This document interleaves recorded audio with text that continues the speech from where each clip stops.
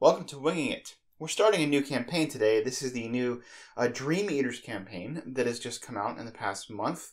Uh, it's actually two campaigns in one, so I'm going to have four investigators uh, that will be taking through this. I will be going over the first two uh, in this video, uh, going through their decks, um, and that would be Tommy and Luke. This is the dreaming side. And the waking side, uh, I will be playing uh, Ton- uh, Tony and Mandy. So, uh, this is Tommy Muldoon. Uh, I'm going to go over him and his investigator. First, the most important thing is his miniature, which I super love. My wife just finished painting this uh, last night, and I just couldn't be happier with how cool he turned out. This is a custom miniature that I made on Hero Forge. Like I said, my wife painted it because she's better at these sort of things, and yeah, super fun. Gonna be super fun to play. I'm looking forward to playing with him. So uh, this is Tommy Muldoon. Okay, he is a guardian. Um, he has the same stats as Roland: three willpower, three intellect, four fight, two uh, evade.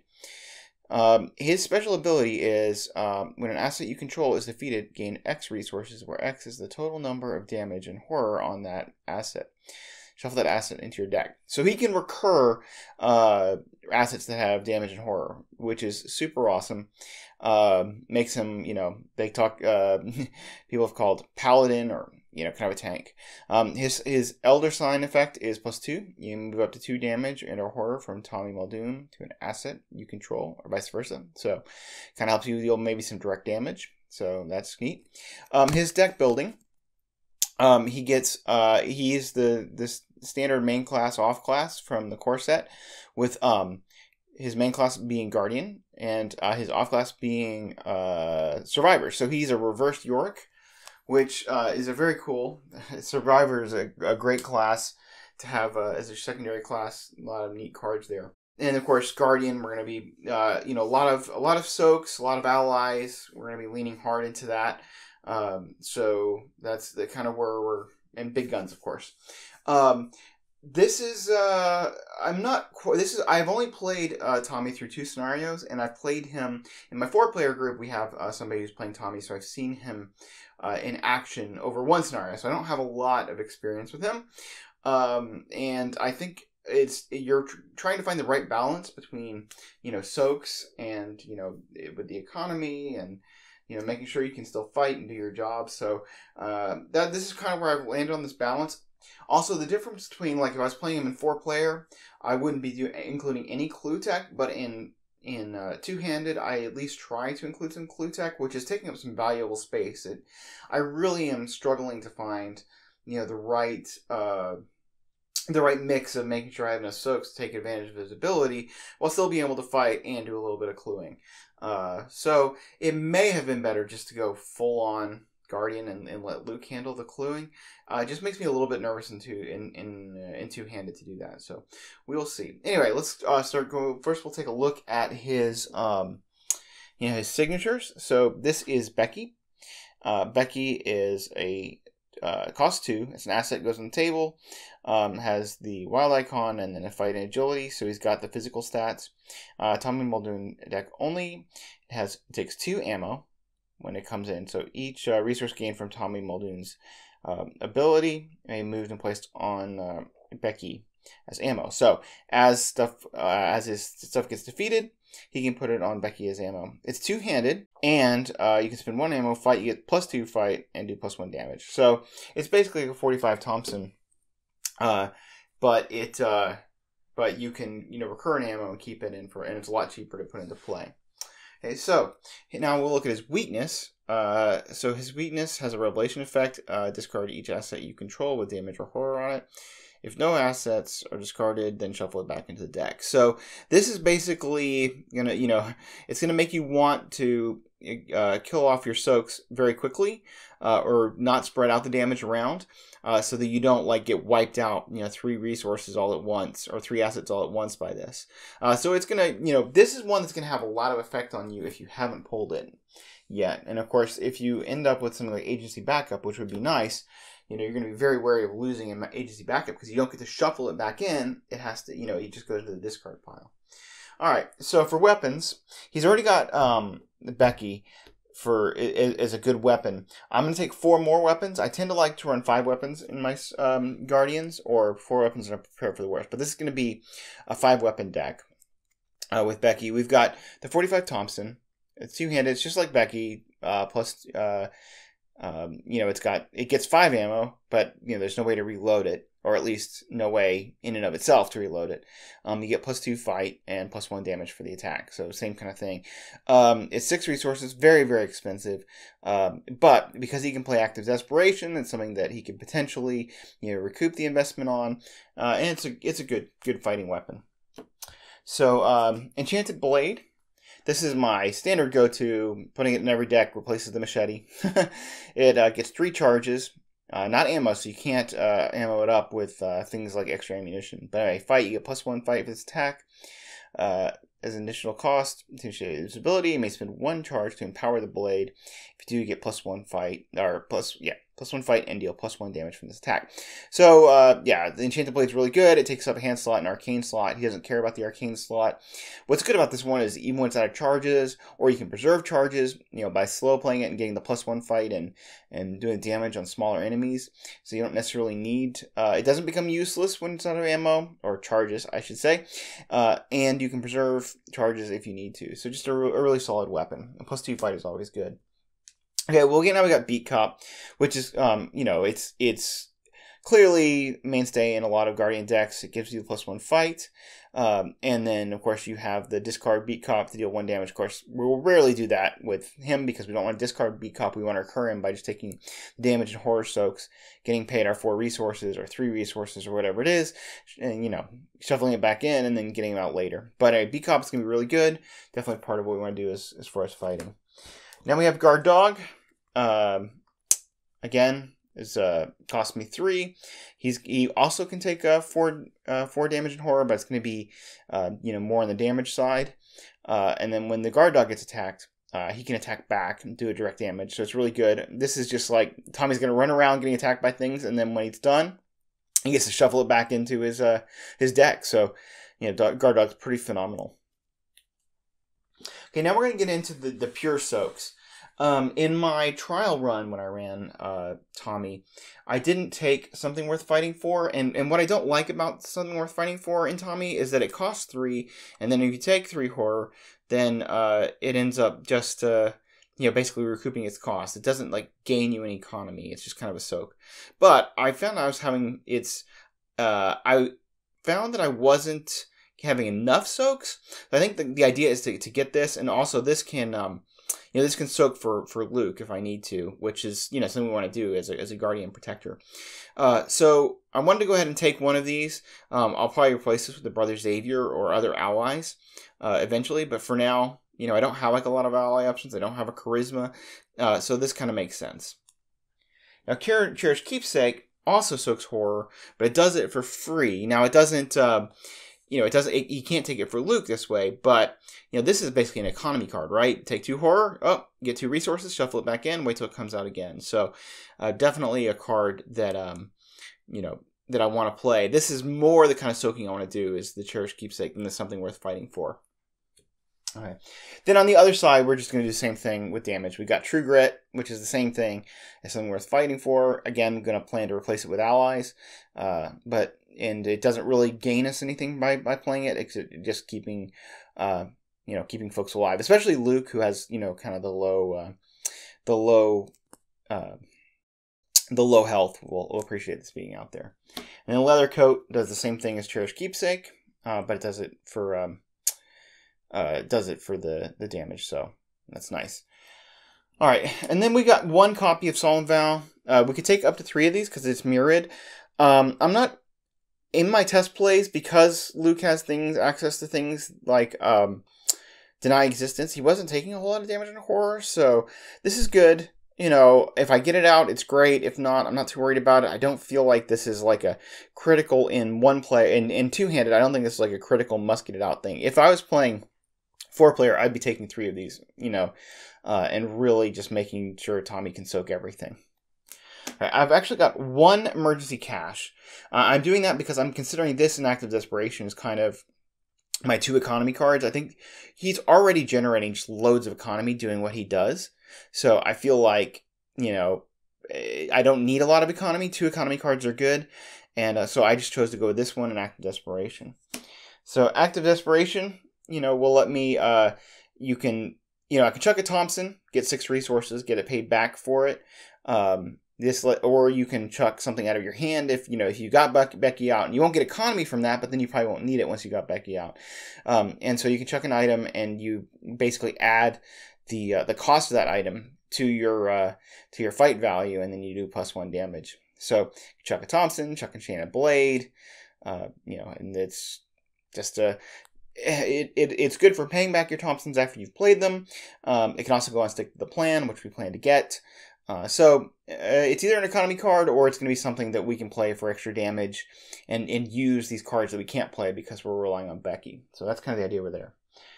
Okay, um, lucky is just lucky. you know, you uh, if you don't know what it does, it basically if um, if you're failing a test, you can uh, uh pay for this and add plus two and maybe pass the test or maybe fail it less badly. Just a really great card. It lets you undercommit to tests, um, and so excellent card. All right, we're now we're going to get into his clue tech. All right, I'm including two look what I founds, which I can either use commit for icons to get um, get him up to like a, a, you know a five investigate. It's not bad. Or this is a fast uh, after you fail a skill test by two or less while investigating, discover two clues at your location. So it's a way that you know we can uh, again undercommit like with Lucky, and if we fail, we can pay two resources and get clues. Um, and then this is kind of our other clue tech here is the combination of, of on the hunt and scene of the crime, scene of the crime. Uh, on the hunt, which just lets you uh, search the top nine cards of the encounter deck for an enemy instead of drawing a treachery. So if we want to fight, if we want to soak, this will give us a way to do that. I got one of these. And then scene of the crime, it's an event. Uh, you have to play it your first action. Uh, you can discover one clue at your location or two clues if there's an enemy and it doesn't provoke an attack or opportunity. You know, so you could use on the hunt to get out an enemy. You could uh, play this, get two clues. Uh, it's just a really good card. So, especially if you're going to be, you know, if you just want to be dealing with enemies. Finally, kind of, this is my yeah, trifecta of, uh, you know, my holy trinity of, of, survivor cards is Steadfast, which will very often be worth three fight or uh, three willpower. Very good card. Um, this the, this gets worse and worse the more damage and horror on you, but honestly, he's got lots of soak. It should always be fairly worth at least two fight and two willpower, if not three and three. So this is what I play instead of guts these days. Um, take the initiative, which it gives you three of anything, uh, as long as um, you haven't taken any actions this phase, or and uh, if you have, it just goes down by one. So uh, it's really nice. This is always worth three in the Mythos phase, and then it's you know worth three if you do it as your kind of your first action. So really, really solid card. And then of course, who doesn't take vicious blow? You know, it's good for odd health enemies. It's good when you don't have a weapon and you need to punch a two health enemy. Uh, it's just you commit to a skill test and you should, you do an extra damage if you're successful. Also, good when you want to add damage and you're hitting something that's on that's on Luke, right? Because if he fails, he won't accidentally hit Luke for the extra damage, right? Because it's only on success that that takes him. So finally, we got um, one of the new weaknesses. Uh, this is self-centered. Uh, it's multiplayer only, but we are playing multiplayer because two-handed is is multiplayer, right? Um, and so you put it into your threat area. You cannot commit cards to another investigator skill test or uh, affect that investigator with player card effects, except uh, aspects that cause damage or horror, and you take two actions to discard self-centered. So, not great if we're trying to tank stuff for people. Uh, I'm not sure. I haven't really thought about how that will affect uh, him as far as his ability to. You know, I know he can't play Solemn Vow on somebody, um, so I don't think he can yeah, I, I guess the trigger on Vow can go off. I'm not sure how much this will affect. I'll have to look at you know the rules and see if there's any action, interactions. My gut tells me it's not great for him because he's trying to protect other other players, but it may actually not be that bad. So I guess we'll see. But uh, anyway, uh, so this is again uh, Tommy and Luke are going to be going into the uh, the dream world. Uh, so let's take a, a look at Luke and see how I built him. And our dreamer Luke. Take a look at his miniature. I started painting this one, my wife finished it, so any any bad parts of this I will take credit for. But I think he looks pretty cool. Uh, you know, I wasn't able to get his mask exactly because they didn't have anything like that on, um, you know, on Hero Forge. But uh, yeah, it still looks really cool. So, got his arms raised. That whole the posing lets you do that sort of stuff. So uh, again, I'm taking him into the Dreamland because this is really like he's the dreamer, so it makes sense that uh, Luke would be my guy there. So he is uh, the dreamer. His stats: he's got a four willpower, so very good for a mystic. A three intellect, two fight, three agility. Uh, so he is uh, an off-class um, seeker. So uh, be using some of the seeker cards. Three intellect, not great, but I mean, we're probably going to try to mostly be investigating through our willpower anyway. So um, he begins the, his special action is he begins his uh, the game with Gatebox in play, and uh, you may play one event each turn as if you were at a connecting location and engaged with each enemy at that location. So I'll tell you, I have never seen the community so confused over rules, and I think it's because um, as if is not really a well defined term you know in the in the game rules. So there's not a lot of clarification about you know what that means. And there's some really a lot of interactions that people are just you know concerned about. You know i've heard people say you can do these things you can't do these things as if does it mean you know in what aspects are you there or what aspects are you still you know where you're at? And and people don't know. So um, i'm going to do my best to muddle through you know the rules and play what i think is right. But you know it's it's really hard to say um, you know what that uh, what all that means but um, yeah, we're gonna have fun and you know do our best. Um, so his Elder effect is plus one, place one charge on Gatebox, which is incredible because Gatebox is great. Um, like I said, he is uh, he's a Mystic with zero to five and Seeker zero to two. So he's just kind of the normal you know main class off class from the core box, kind of. So that's what we got with Luke. All right. Um, and I will just say I did take two arcane researches. This gives you a trauma, but lets you upgrade skills um, for cheap. Which in a since this campaign is only four, um, since this ca- campaign is only four scenarios long, uh, it might feel like it's not worth it, and maybe it isn't. But because Tommy is so good at just making sure that like people around him don't die, I just thought it was worth. It was okay to start with two horror and you know be able to upgrade you know my spells uh, very quickly. So um, that'll let me get my sixth sense up. It uh, I don't think I said it, but it gives you each one of these gives you plus one discount, you know, on upgrading a spell. So sixth sense can be upgraded cheaply. Shriveling, ward of protection, deny existence possibly if I want to go, uh, you know, uh, go go for luxury cards. But anyway, um, it I just felt like it was worth it. I'm only get to use it three times, but or at least you know, assuming he makes it all four scenarios three times.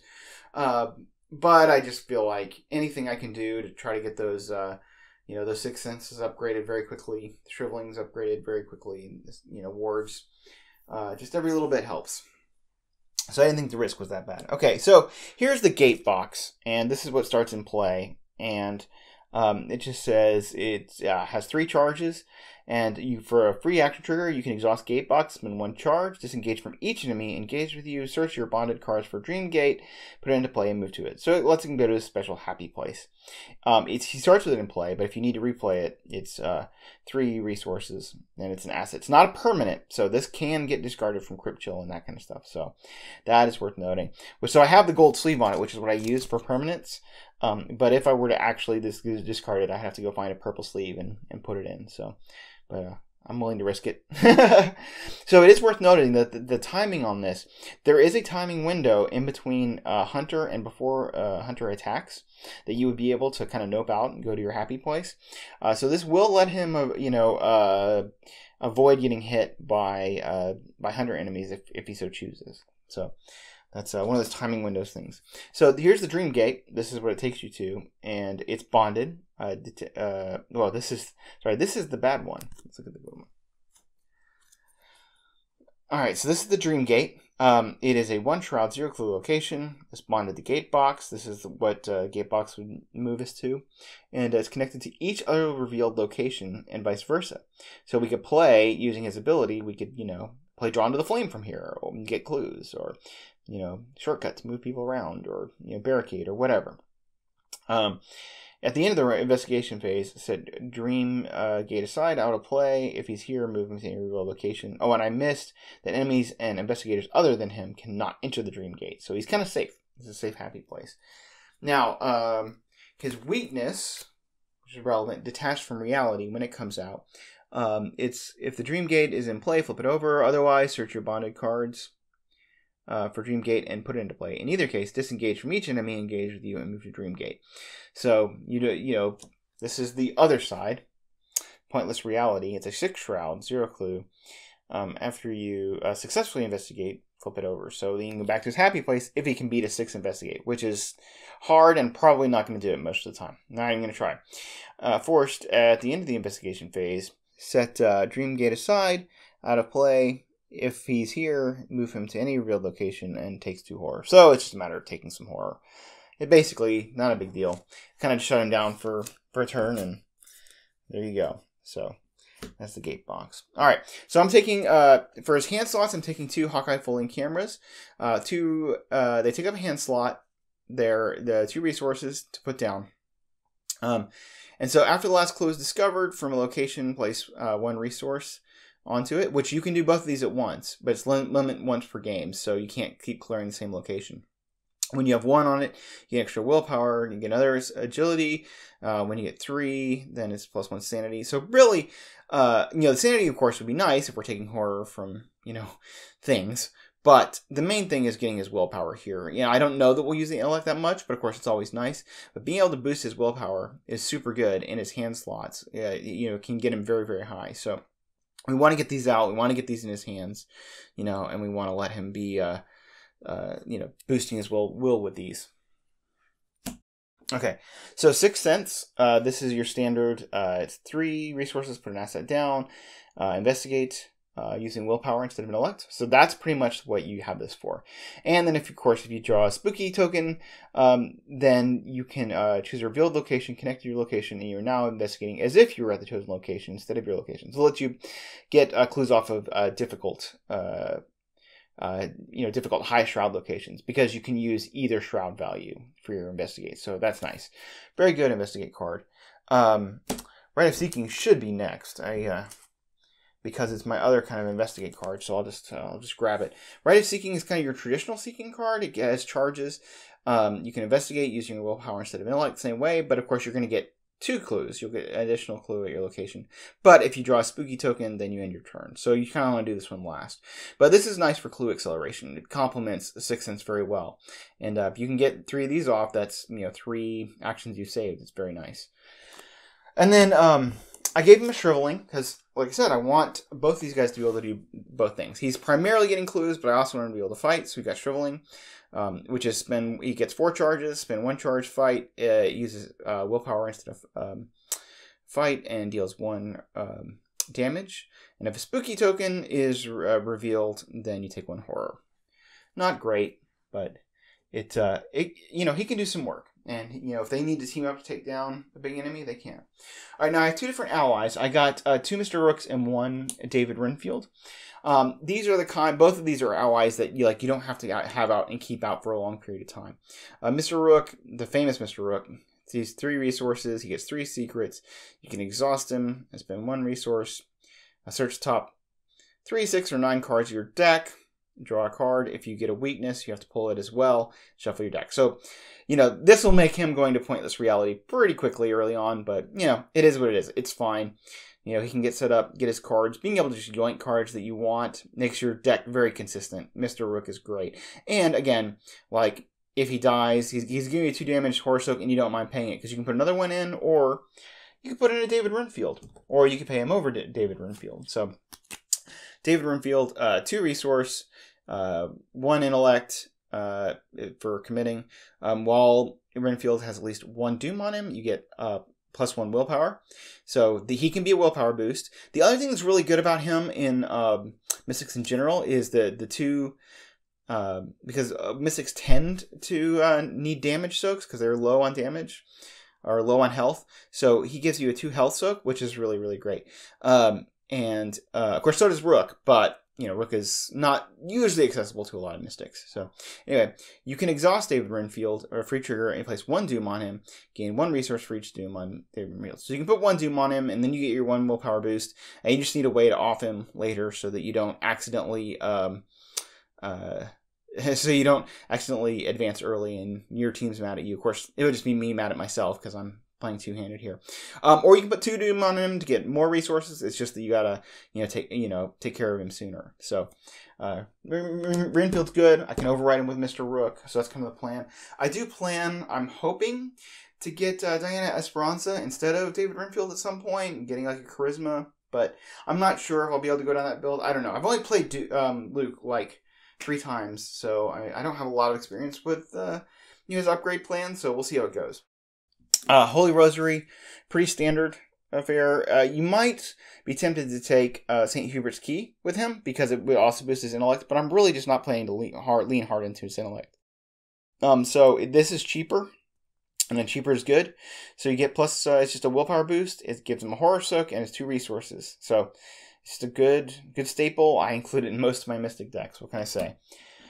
All right, crack the case. Um, this is a fast uh, play after investigator discovers the last remaining clue at your location. Investigator's location. Uh, gain a total of X resources distributed as you wish. X is the location shroud value. So this is economy card. I, I usually replace emergency cash with this in uh, seeker decks. So it's um, it's nice. You can you save an action over emergency cash. Um, and you can sometimes get more resources. But even if you only get like two or three, it's generally pretty fine. And Luke can play it, as far as I know, if I understand the as if rules, you know, if somebody discovers a clue at, at a neighboring location, which, generally, since he's the main cluever in this group, it probably won't be anything. But, you know, hey, maybe Tommy will look what I found on a big shroud and he'll get a lot of resources out of it. Okay, so shortcut uh, you know, this is obviously a standard, you know, a lot of seekers like this card. Uh, fast, play only your turn, choose an investigator your location, move the investigator to a connecting location. Uh, again, he can play this uh, at a location, so he could move Tommy around even if he's not there, or he could play it and move himself to a connecting location, kind of skip two uh, locations without even uh, taking an action. So, good card for him. Now we have everybody's favorite card, Barricade, that goes in every Seeker deck, right? No, it actually is generally considered a pretty weak card, and very few people run it. Um, it is, and the reason is because you put it down and then it goes away. Like it just can't sit out there for very long. It doesn't do very much work unless you're like Cerebro Min or something like that. Um, it's a zero cost event attached to your location. Non elite enemies cannot move into attached location. Force an investigator leaves the attached location. Discard barricade. But here's the thing: since Luke can play this at a connecting location, he can play it stop enemies from coming after them. And since no no investigators are leaving the investi- the uh, the location, it just kind of stays there forever. I've already used this to great effect um, in uh, the one scenario I played with him, which was the um, uh, return to a curtain call, and uh, I trapped that new enemy up on the balcony, and she just kind of stayed there, and it worked great. So uh, happy with barricade. Drawn to the Flame, pretty standard clue tech for Mystics their only clue tech from the, the core box. Draw the top two cards in the encounter deck, then discover two clues at your location. So not too scared of the encounter deck, we hope. Um, but if he plays this in uh, his, you know, in his in his happy place, his dream state, then uh, if he draws an enemy, as far as I know, the enemy just blanks because enemies can't go in there. And of course, he can use this to investigate any revealed location, or he can play it. You know, he's out on the field. He can play it, uh, you know, for a connecting location. So very good. These are, by the way, are all the in, the kind of the events that he can play at connecting locations. So Storm of Spirits, it's um, this is another attack, attack with uh, willpower instead of fight. It costs three. It's an event, um, and uh, if you do damage, you do two damage to everything at its location. And if you pull a spooky token, you're going to do a damage to yourself and all the other investigators at your location. But this is a nice one where you can just, you know, he can, if there's a, a bunch of enemies like say swarm enemies, which we're gonna encounter, he can just take them all out you know, in, one big swoop, and he could do it even from you know location away. So, uh, definitely a, a, cool thing to be able to play. He could even play it from within his uh, his uh, his happy place. All right, next we have deny existence. Uh, fast play when a counter card or enemy attack would cause you to do one of the following. Uh, choose one. Discard cards from hand, lose resources, lose actions, take damage, take horror. You ignore that effect. Uh, that aspect of the effect. So obviously a very strong card. Just lets you say, nope, I just don't believe it. Um, it's not going to happen. So always, always good to, to have a deny existence. And what, what what's good about deny existence? It's almost like a um, uh, almost a survivor like card in the, uh, the the way that you can kind of like undercommit to test because you know if you fail, you only have to play you only have to commit this after you failed the test. So it's kind of like a lucky but kind of mystic style. Okay, we got premonition. Um, so this is just a fast play in any player window. Put it into play, reveal a random chaos token, and forced when a chaos token to be revealed, uh, you can just play it off premonition. So this is just basically I'm going to see what's going to happen before it happens. Again, you can decide how much you want to commit because you know, you know what you need to do to pass, or if it's just hopeless. Ward of Protection, not much to say about of Protection. It's, you know, draw an encounter card that's not an enemy. You can uh, play this, take a horror, and cancel it. That's a good card. Okay, and then finally we just got some unexpected courages. Just good, good all around kind of thing. We'll also potentially let him evade with his three agility, but maybe we need to you know throw it at a willpower test. Maybe we need to investigate it. So yeah, just commit the two wilds and you're good to go. And finally, he got everybody's favorite weakness. Not really the tower. Um, so you cannot commit cards to skill tests while the tower is in your hand. Uh, if it's in your opening hand during setup, before or after taking your mulligan, you cannot replace it. It must stay in your opening hand. So uh, I don't like to see this card. Fortunately, he's not planning on playing a heavy commit style. We've only got the two skill cards, but it's still something that will tax your resources and isn't something that uh, you know you want to enjoy seeing. Especially, it eats up your mulligan. It's really really rough. So anyway, uh, that is Luke, and now let's step into the dreams and see how it goes for our uh, our two heroes who have elected to go to sleep and investigate the dreamlands.